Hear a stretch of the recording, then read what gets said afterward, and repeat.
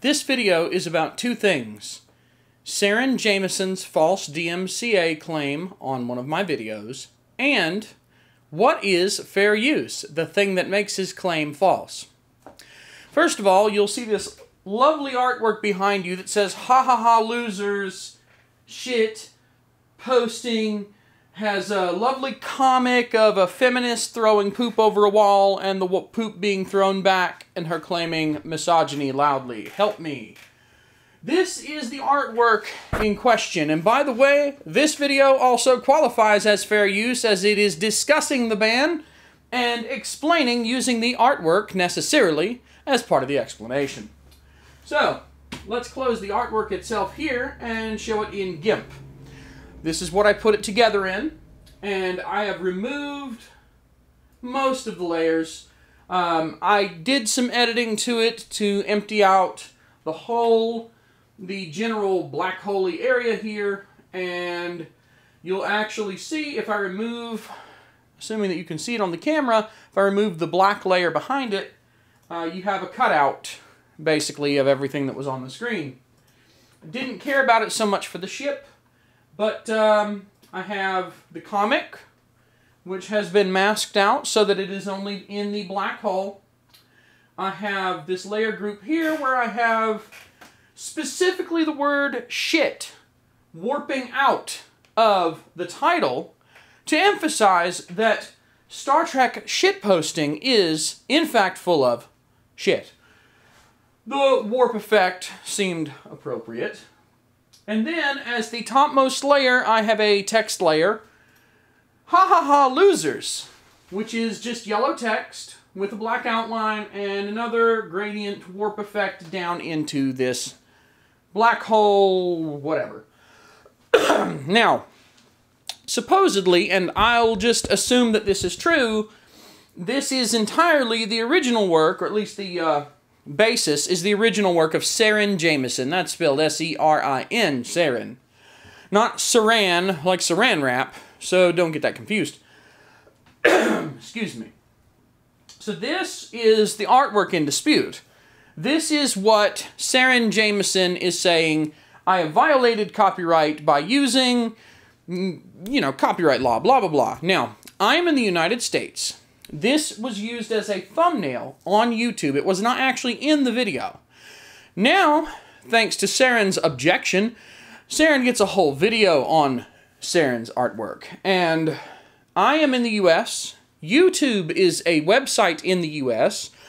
Everything on YouTube is bound under US law. Even though Serin Jameson is Australian, Serin Jameson posted the artwork originally to Facebook, a United States corporation. And I posted to YouTube a United States corporation. The governing law is very firmly within the United States here. There is no Australian jurisdiction. Therefore, Australian jurisprudence is irrelevant.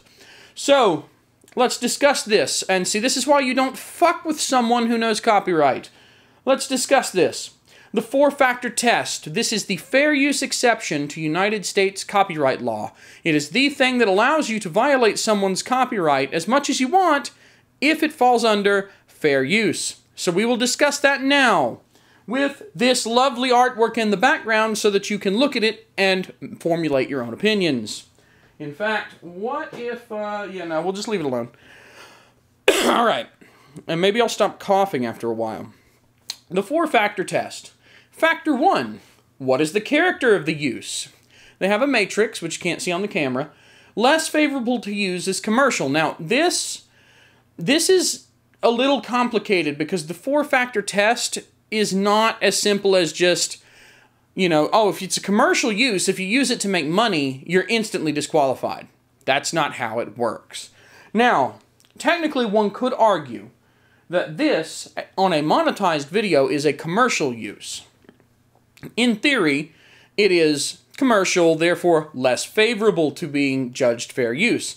Fair use is also quite arbitrary in that regard. Um, in the middle between more and less favorable is nonprofit, educational, personal.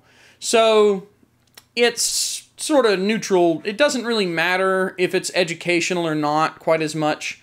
Um, education kind of sort of leans it a little bit towards more fair use, but More favorable to use, and this is where the case becomes very strong. More favorable to use. Criticism.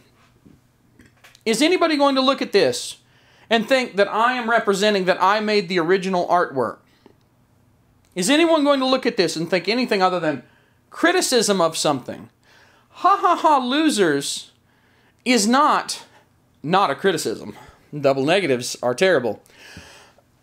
Commentary, news reporting, parody, repurposing a work, providing new context, or otherwise adding value. I took the original work. I put in feminism on the internet, a social justice warrior comic in the black hole.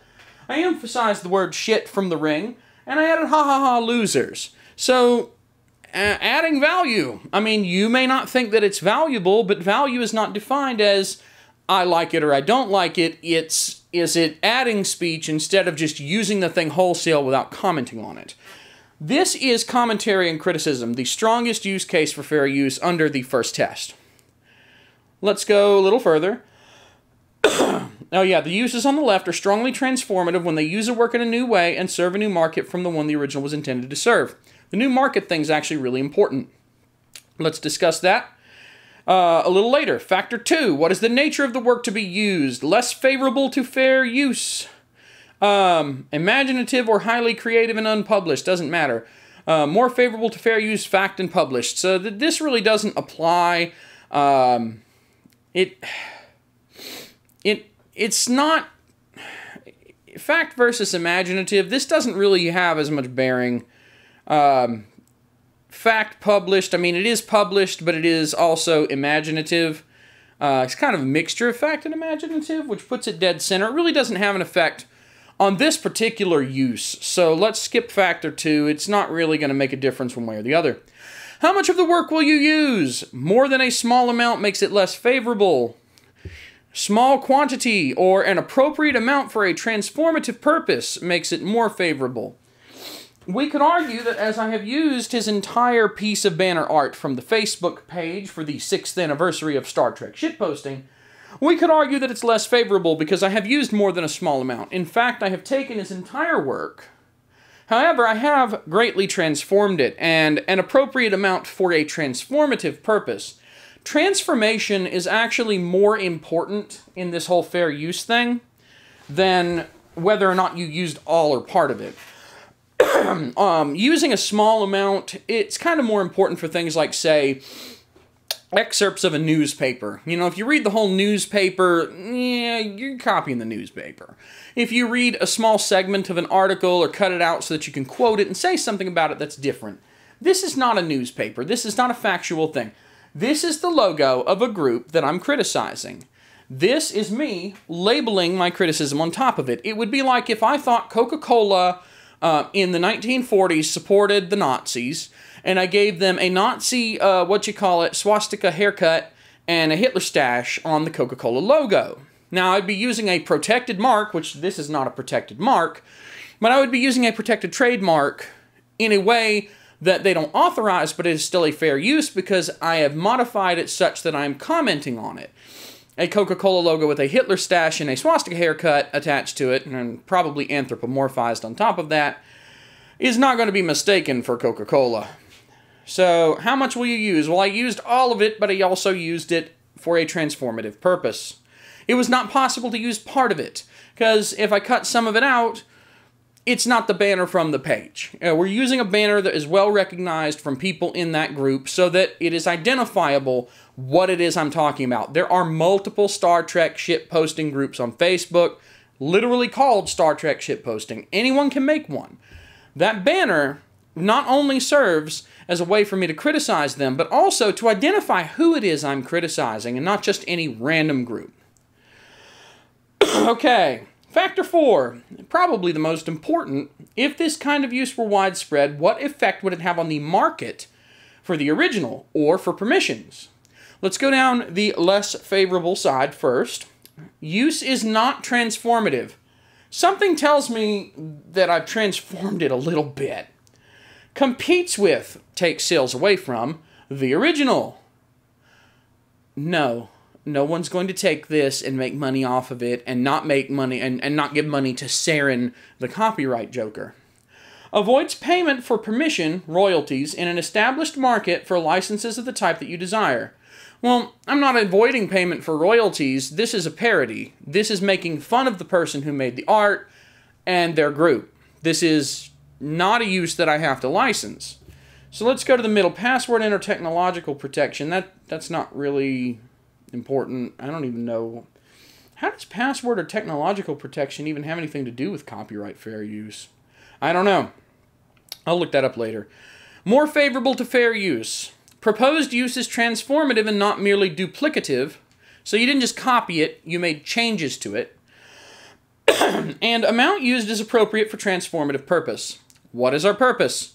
Take that logo, use it both to identify the group and to make fun of them. Mockery, parody, satire, criticism, commentary, cornerstones of fair use. So if I only used part of it, for example, it may not be as recognizable. It is not the banner at that point. I've hacked it up into something unrecognizable. But at the same time, I've added enough garbage on top of it and cut away at it enough that it's kind of like clippings from paper. It has been transformed significantly. Proposed use is not transformative, but amount is small. That, that would be like if, if I took, uh, like I said, a little excerpt of an article.